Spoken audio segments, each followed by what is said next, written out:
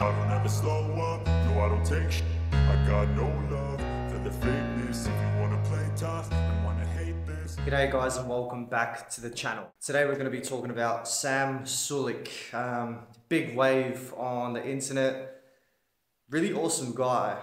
Just like you can tell he's kind-hearted, he's super nice from what I've been able to see through the videos. But I wanted to talk today about some of the pros and cons on looking up to him as a fitness influencer and uh, and yeah, how it can potentially be affecting you and your fitness goals. I don't ever slow up, no I don't take I got no love for the fakeness. If you wanna play tough and wanna hate this I'll always show up and make a statement. I don't ever slow up. Now he seems like such a genuine person. I can see in the comments, in the reels, and the TikToks, everyone thinks he's a genuine. He just seems so kind-hearted and nice, and I really admire his work ethic. I admire that he trains till failure. He trains really hard. Um, but let's identify the elephant in the room. You know, from my personal experience, he seems like someone that doesn't look natural. Um, uh, and that's the topic of PEDs, performance enhancing drugs. Um, now, I know when I was growing up and I first started going to the gym, I used to look up to people that had a big question mark above their head regarding PEDs. And I always felt like shit, you know, I felt weak, I felt uh, smaller, I felt like I wasn't progressing, I felt like I wasn't good enough because of that. I used to see these guys making massive changes um, in a short period of time where with me I would do the exact same thing that they were doing and not even see a fraction of the results. So, you know, that made me feel like shit, you know, it made me feel insecure. It made me feel like, well, my self esteem was significantly um, impacted by it.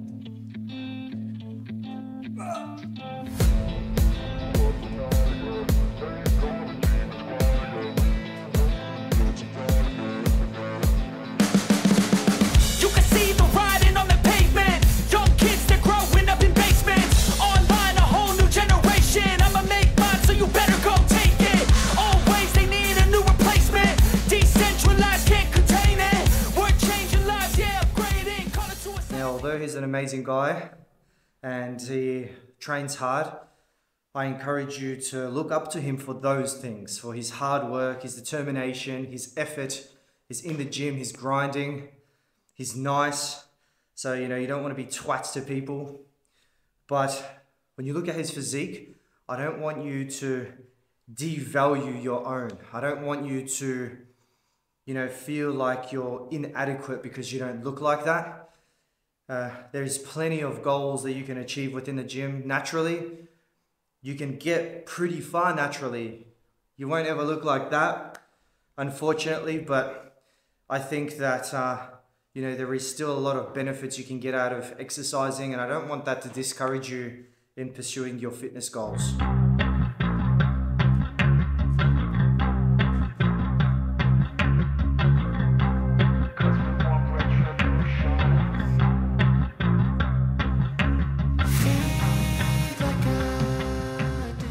Now, while we're on the topic, training to failure is a must.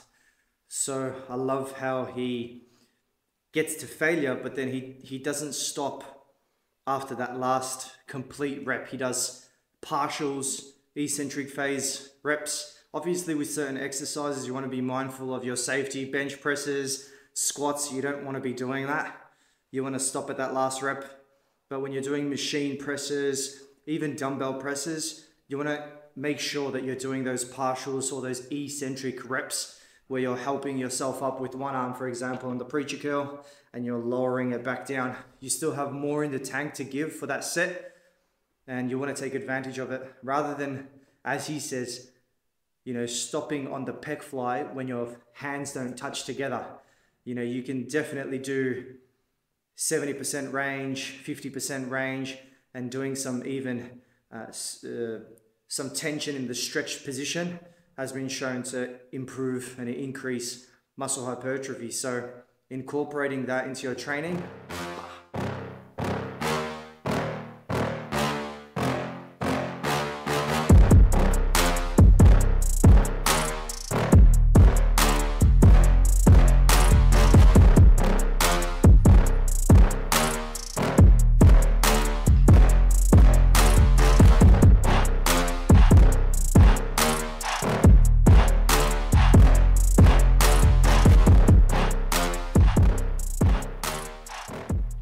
Another thing I like about Sam is his fashion. He doesn't really care about, uh, you know, what people are wearing.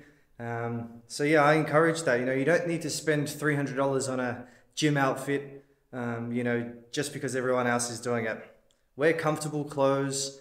Wear old clothes, even if you have new ones. Uh, the gym is to get a sweat on. It's not a fashion parade. So, you know, I appreciate that he's starting a movement of, you know, wearing whatever you feel comfortable in. I started training with a, a shirt and a flannel, and I was like, oh, wow, I should have started doing this uh, a lot earlier. So, yeah, encourage that. Now, don't get me wrong, I don't have anything against PED use. You know, you can do whatever the hell you want to do. But all I'm saying is that it's slightly different when you're natural. I've been lifting for over 11 years. Um, and yeah, it's slightly different. Some of the things that you have to take into account when you're natural is a lot different to when you, you're on PEDs. Um, you need to take into account your recovery. You can't be training to failure every single day and get away with it. Um, you're not going to be able to recover as much. So these little things, the diet that you eat, you can't get away with just eating whatever you want. Um, you have to be a little bit more mindful um, in terms of putting on size. You have to make sure you're sticking to your proteins, uh, you're sticking to your carbs. But that brings me to the end of today's video. Um, I hope you enjoyed it. If you have any questions about it, you can pop it in the comment section below. If you have any questions about training, exercise, rehab, I'm a doctor in physio, so I might be able to answer some of them for you. Um, otherwise, if you like today's video, click the like button and make sure to subscribe. Um, and yeah, looking forward to seeing you in the next one. I'll pop a link to my website and my email in the description below also. So if you need to get in contact with me, please do.